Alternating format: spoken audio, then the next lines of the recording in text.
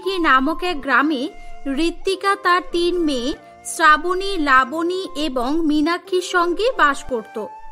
ঋত্বিকা একজন বিধবা মহিলা ছিল। সে একাই খেটে তার পরিবারের পেট চালাতো। ঋত্বিকা একজন দিনমজুর হওয়ায় সে সারাদিন কাজ করে যে টাকা মজদুরি পেত, তা দিয়ে কোনো মতে একবেলা তাদের ডাল ভাত জুটত, আবার কখনো জুটত না। হে ঈশ্বর আজও আমার কাজ হলো না। এবার এই মুখ নিয়ে কীভাবে বাড়িতে যাব? আমার বাচ্চাগুলো না খেয়ে সারাদিন শুকিয়ে মায়ের মুখের দিকে তাকিয়ে বসে আছে। ঋত্বিকা দিনমজুরি করত ঠিকই, কিন্তু একদিন কাজ না হলে তার ডাল ভাত চোটানোর চিন্তায় তার মাথা খারাপ হয়ে যেত। কারণ ঋত্বিকা ছোট মেয়ে দুটি খিদে সহ্য করতেই পারত না। অন্যদিকে বড় মেয়ে শ্রাবণীর বয়স দশ বছর হলেও সে অনেকটাই বুঝদার হয়ে গিয়েছিল। তাই তার খিদে লাগলেও সে কিছুই বলতো না। মায়ের কষ্টের দিকে তাকিয়ে সে চুপ করেই বসে থাকতো। না আমি এভাবে বাইরে বসে বসে চিন্তা করলে চলবে না। বাড়িতে গিয়ে দেখি ওরা কি করছে। এই বলে ঋত্বিকা সেদিনও কাজ না পেয়ে খালি হাতে বাড়ি ফিরে যায়। বাড়ি গিয়ে সে দেখে লাবণী বিছানায় শুয়ে শুয়ে কাছে দিদি দিদি, মা এখনও চাল কিনে আনেনি কেন? আজকে কি আমাদের ভাত খাওয়া হবে না? আমার তো খুব জোরে খিদে পেয়েছে। দেখ, লাবণীও কাঁদছে। মায়ের কি আমাদের কথা একটু মনে পড়ে না? হ্যাঁ বোন, মা এখনই চলে আসবে। তোরা একটু চুপ কর, আমি তোদের জন্য ভাত বসিয়েছি। আর একটু ধৈর্য ধর। এই তো, দেখ, আমি ডাল আর ভাত রান্না করতে যাচ্ছি। ছোট্ট দশ বছরের মেয়ে শ্রাবণীর ধৈর্য এবং বুদ্ধি থেকে বাইরে দাঁড়িয়ে থাকা ঋত্বিকার চোখে জল চলে আসে। আসলে ঋত্বিকার অবস্থা প্রথম থেকেই এরকম ছিল না। বছর খানেক আগের ঘটনা, যখন ঋত্বিকার স্বামী কাশীবাবু বেঁচে ছিলেন। তখন লাবণীর জন্ম হয়নি। সে গর্ভবতী অবস্থায় ছিল। তাহলে ঋত্বিকা বলো তো আমাদের মেয়ে হবে না ছেলে হবে? আমার তো মেয়েই পছন্দ। শ্রাবণীকে ডাক্তার তৈরি করব আর মীনাক্ষীকে আইপিএস অফিসার। আর লাবণী? এই এই চুপ করো। মেঘনা চাইতেই জল। মেয়ে হবে না ছেলে হবে তুমি কি করে জানলে? আর অত আশা করা ভালো না বুঝলে মিস্টার? যাব বাবা আমি তো আমার ইচ্ছাটাই শুধু প্রকাশ করলাম তোমার কাছে। আর আমার মেয়েই হবে, তুমি দেখে নিও। হ্যাঁ সে ঠিক আছে, তখন দেখা যাবে। তুমি আগে কাজে যাও, না হলে তোমার মেয়ের ভবিষ্যতে চিন্তা করতে করতে অন্য মেয়েদের ভবিষ্যৎ নষ্ট হয়ে যাবে। কাশীবাবু ছিলেন একজন বাস ড্রাইভার। সে একটি স্কুল বাস চালাতো। প্রতিদিনের ন্যায় সেদিনও সে বাচ্চাদের নিয়ে স্কুলে যাচ্ছিল। কিন্তু দুর্ভাগ্যবশত ট্রেনের সিগন্যাল সে দেখতে পায়নি। এবং ট্রেনের সঙ্গে তার বাসের অ্যাক্সিডেন্ট হয়। কাশীবাবু তার সাহসিকতা ও দক্ষতার পরিচয় দিয়ে স্কুলের সকল বাচ্চাকে বাঁচাতে সক্ষম হলেও সে নিজের জীবন বাঁচাতে পারেনি এবং সে মারা যায়। ঋত্বিকা দাঁড়িয়ে দাঁড়িয়ে এগুলোই মনে করছিল। তখনই তার প্রতিবেশী কমলার আওয়াজ শুনে সে তার অতীতের চিন্তাভাবনা থেকে বাইরে বেরিয়ে আসে। ঋত্বিকা! এই নাও এখানে বাসি ভাত আর ডাল আছে। কালকে রান্না করেছিলাম বাড়িতে কেউ খাচ্ছে না। ভাবলাম তোমাদের দিয়ে যাই তোমরা খেয়ে নেবে। বাচ্চাগুলো তো এমনি না খেয়ে আছে দেখলাম কাঁদছে খিদে চালাই এমনিও এই ভাত ডালগুলো আমি ফেলেই দিতাম। কিন্তু কমলা দিদি তুমি এরকম ভাবে আমাদের আর কতদিন সাহায্য করবে? আমার তো এবার তোমার থেকে কিছু নিতেও খারাপ লাগে। ঋত্বিকার খারাপ লাগলেও তার কাছে আর অন্য কোনো উপায় ছিল না। ঋত্বিকা আমি একটি কাজের খোঁজ পেয়েছি বীরেন বাবুর ফ্যাক্টরিতে। শুনেছি উনি খুব ভালো লোক। ওনার কাছে যারা কাজ করে তাদের দুবেলা দুমুঠো ভাতের অভাব হয় না। কমলার কথা শুনে ঋত্বিকা খুব খুশি হয়। সে পরের দিনই বীরেন বাবুর ফ্যাক্টরিতে যায়। হ্যাঁ তোমার কথা আমার স্টাফ আগেই বলেছে। তা কাজ কি করতে হবে জানো তো? এই কৈলাস তুমি একে কাজ দেখিয়ে দাও। আর হ্যাঁ তুমি মেয়ে মানুষ তিনতলে উঠতে পারবে কি না? উফ কি যে করি। নিয়ে যাও একে। বাবু আপনি না করবেন না। আপনি আমাকে কাজটি না দিলে আমার বাড়িতে দুবেলা দুমুঠো ডাল ভাতও জুটবে না। আপনি আমার উপর দয়া করুন। ঋত্বিকাকে কান্নাকাটি করতে দেখে বীরেন বাবুর খুব মায়া হয় এবং সে তাকে কাজটি দিয়ে দেয়। ঋত্বিকা প্রতিদিনই খুব মনোযোগ দিয়ে কাজ করত। সে একটি মেয়ে হওয়া সত্ত্বেও পঁচিশ কেজির বস্তা নিয়ে তিনতলা থেকে ওঠানামা করত। তাকে এভাবেই কাজ করতে দেখে সকলেই অবাক হতো। এমনই একদিন আর কাজ করতে হবে না যাও এবার তোমাদের ছুটি হয়ে গেছে। ঋতিকা তোমাকেও বলছি। না বাবু আমি ওভারটাইম করব আজকে। আমার চেয়ে অনেক বেশি টাকার দরকার। কিন্তু ঋত্বিকা তুমি একটি মেয়ে হয়ে ছেলেদের থেকে বেশি কাজ কীভাবে করো? তোমার কষ্ট হয় না? কষ্ট হয় বাবু কিন্তু আমাদের মতো গরিবদের রেস্ট নিলে যে চলবে না। একদিন কাজ পেলে পরের দিন পাবো কিনা সেই চিন্তায় থাকতে হয়।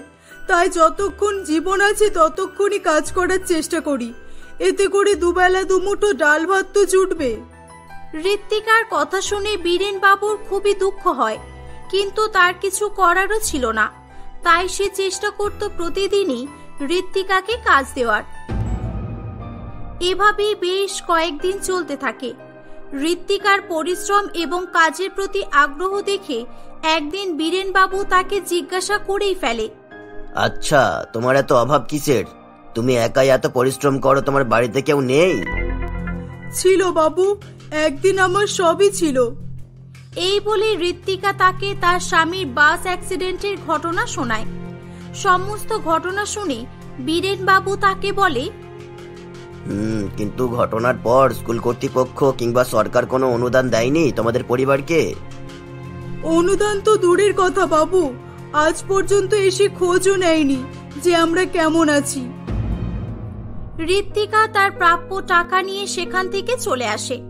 আসার পথে বাজারের কাছে সে খাবারের গন্ধ পেয়ে দাঁড়িয়ে পড়ে। আজ আমার বাড়ি ফিরতে দেরি হয়ে গেছে। এখন গিয়ে রান্না করাও তো সম্ভব নয় তাহলে খেতে অনেক দেরি হয়ে যাবে। আজ বরঞ্চ আমি কিছু খাবার কিনে নিয়ে যাই। সেই তো রোজ ছেলেমেয়েরা ডাল আর ভাত খেয়েই থাকে। আজ না হয় কিছু ভালো খাবার খাবে? এই ভেবে ঋত্বিকা সেদিন তার রোজগারের সমস্ত টাকা দিয়ে বিরিয়ানি কিনে বাড়ি আসে। সেদিন বাচ্চাদের বিরিয়ানি খাওয়াতে পারবে ভেবে সে খুবই খুশি হলেও তার এই খুশি বেশিক্ষণ ছিল না। কারণ সে বাড়িতে এসে দেখে তার ছোট মেয়ে লাবণীর খুবই শরীর খারাপ। কি হয়েছে মা? লাবণীর কি হয়েছে? এই তোরা কাঁদছিস কেন? মা দেখো না মা কখন থেকে বোন শুয়ে আছে। আমি এত করে ডাকছি তবুও উঠছে না। ওর গায়ে অনেক জ্বর গা পুড়ে যাচ্ছে একেবারে। মা তুমি ওকে তাড়াতাড়ি হসপিটালে নিয়ে চলো। শ্রাবণীর কথা শুনে ঋত্বিকা কেঁদে ফেলে এবং সে কাঁদতে কাঁদতে বলে, কীভাবে নিয়ে যাব হসপিটালে? আমার কাছে তো কোনো টাকা নেই। আজ কাজ করে যা টাকা পেয়েছি, এই টাকায় তো আমি বিরিয়ানি কিনে এনেছি। হে ঈশ্বর, আমাদের মতো গরিবদের কি ভালো মন্দ খাওয়ার কোনোই অধিকার নেই? একদিন ভালো খেতে গেলাম, শেষে কিনা মেয়েটারই শরীর খারাপ হয়ে গেল। এখন আমি টাকা কোথা থেকে পাবো? এর থেকে তো ভালো আমার ডাল ভাতই ছিল। এই বলে ঋত্বিকা মনে দুঃখে কাঁদতে থাকে। এদিকে বীরেন বাবু সেদিন তার বাড়ির পাশ দিয়েই যাচ্ছিল এবং সে ঋত্বিকার সঙ্গে দেখা করার জন্য তাদের বাড়িতেই যাচ্ছিল। তার বাড়ির সমস্ত ঘটনা সে বাইরে দাঁড়িয়ে দাঁড়িয়ে দেখছিল। ঋত্বিকার বাড়ির এই পরিস্থিতি দেখে বীরেন বাবুর চোখে জল আসে।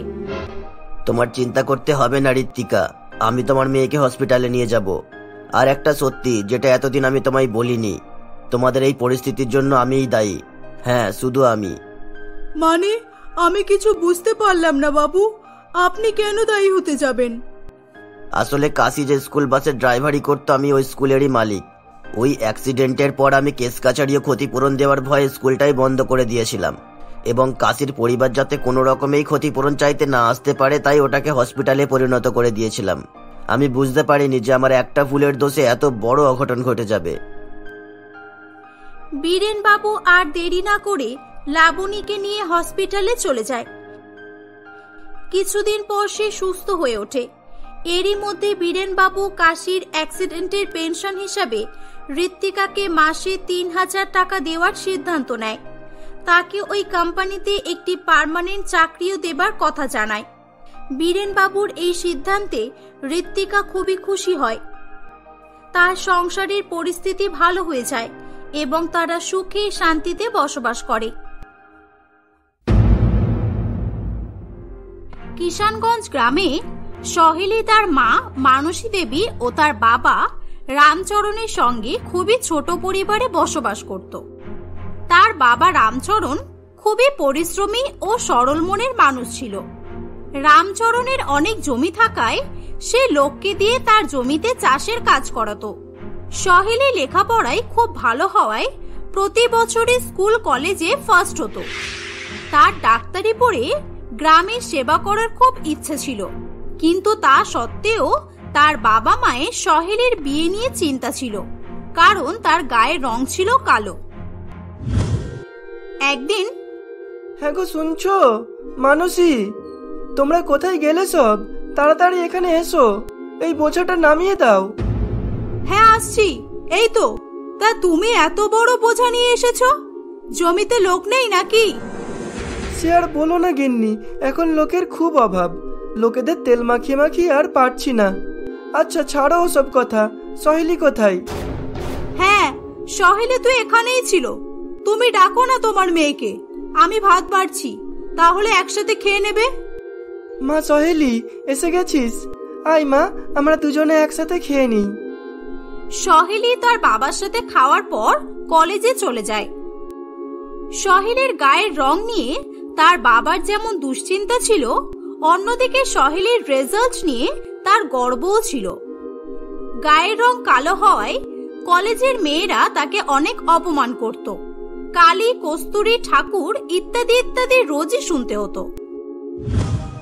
কিরে কস্তুরী? ওপস, সরি সরি। সহেলি, কেমন আছিস?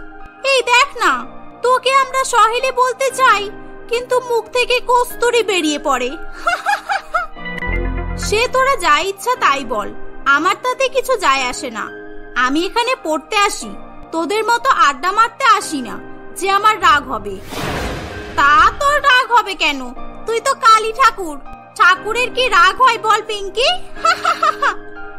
সহেলির রাগ না হলেও সহেলির এরকম কথায় তার বন্ধুদের খুবই রাগ হতো।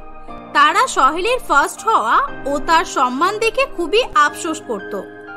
সহেলি ভালো স্টুডেন্ট হওয়ায় কলেজের অ্যানুয়াল ফাংশনে ও বিভিন্ন অনুষ্ঠানে তাকে ম্যাডামরা স্পিচ দেওয়ার জন্য রেফার করত। এমনই একদিন এখন আপনাদের সামনে বক্তব্য রাখবেন আমাদের বেলডাঙ্গা কলেজের student miss Saheli. Everyone clap please hi hi madam please একটু শুনবেন? আমি অনেকক্ষণ থেকেই আপনাকে ফলো করছি। হ্যাঁ বলুন। কে আপনি? আর আমায় বা ফলো করছেন কেন? কি হয়েছে? হুম আমি প্রকাশ আপনাদের বেলডাঙ্গার পাশেই মেডিকেল কলেজের স্টুডেন্ট। আজ আপনার লেকচার শুনছিলাম। আপনার বলার টেকনিক আর ভয়েস জাস্ট অসাধারণ। যদি কিছু মনে না করেন আপনি আমার ফ্রেন্ড হবেন? অ্যাকচুয়ালি আপনার মতো ট্যালেন্টেড ফ্রেন্ড আমার খুব প্রয়োজন। বন্ধু আপনি ঠিকঠাক ভেবেই বলছেন তো? হুম আমি বুঝতে পেরেছি আপনি কি বলতে চাইছেন। আপনি কালো বলে সংকোচ বোধ করছেন তাই তো? আমি এই ভেদাভেদ মানি না।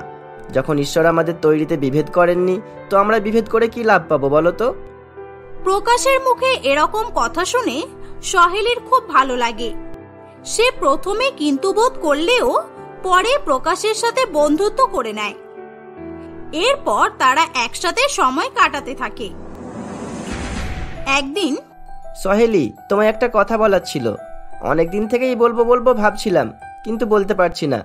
প্লিজ না করবে না। হ্যাঁ বুঝেছি রোমিও বাবু। তুমি কি বলতে চাও? হুম আমি তো জানি তুমি অনেক বুদ্ধিমান তুমি সব বুঝে যাবে। So will you marry me এরপর তারা বাড়ির লোককে না জানিয়েই একে অপরের সম্মতিতে কোর্ট ম্যারেজ করে একটি ফ্ল্যাট নিয়ে থাকা শুরু করে। সহেলির বাবা মা মেনে নিলেও প্রকাশের বাড়িতে বলতে তার সাহস হয় না। এরকম ভাবেই কিছুদিন কাটার পর সহেলি অনেকটা মোটা হয়ে যায়। একদিন প্রকাশের বাড়ি থেকে ফোন আসে। হ্যালো প্রকাশ কেমন আছিস বাবা? অনেক দিন হয়ে গেল ফোন করিস না তোর কি হয়েছে বলতো? না মা কই? কিছু হয়নি তো। এই তো ফোন করবই ভাবছিলাম। তা তোমরা ভালো আছো তো? হ্যাঁ ভালো আছি। আর শোন পরশু তোর পাপা আসছে। তুই চলে আয়। তোর পাপা তোর জন্য একটা মেয়ে দেখেছে। দেরি করবি না বুঝলি? মায়ের কথা শুনে প্রকাশ খুব চিন্তায় পড়ে যায়। সে ভেবেই পাচ্ছিল না যে সে কি করবে। অনেক চিন্তা ভাবনার পর সে সহেলিকে তাদের বাড়িতে নিয়ে যাওয়ার সিদ্ধান্ত নেয়। কি রে এসে গেছিস? আয় বাবা। আর ওটা কে তোর সাথে? মা এটা সহেলি তোমার বৌমা। আমরা কোর্ট ম্যারেজ করেছি। তোমাদের বলার সাহস হয়নি তাই। প্লিজ মা সরি কে বলছিস তুই? তোর মাথা ঠিক আছে তো? এই কালো মোটা মেয়েকে তুই বিয়ে করেছিস? তুই ভাবলে কি করে এই কালো মোটা মেয়েকে আমি আমার বৌমা বলব? আমাদের সোসাইটিতে কোনো সম্মান রাখলি না তুই। প্রকাশের বাবা তুমি ওদেরকে এক্ষুনি এখান থেকে চলে যেতে বলো। না হলে আমি বাড়ি ছেড়ে চলে যাব। না মা তোমায় বাড়ি ছেড়ে যেতে হবে না। আমরাই চলে যাচ্ছি। তুমি তোমার সোসাইটি ও সম্মান নিয়ে থাকো, ওকে? এই বলে প্রকাশ ও সহেলি সেখান থেকে মন খারাপ করে চলে যায়।